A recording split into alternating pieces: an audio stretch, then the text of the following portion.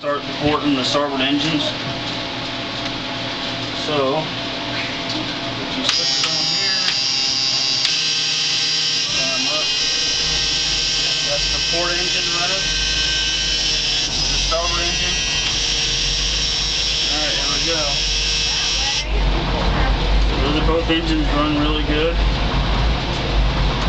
You see we have good oil pressure on both sides. They run good.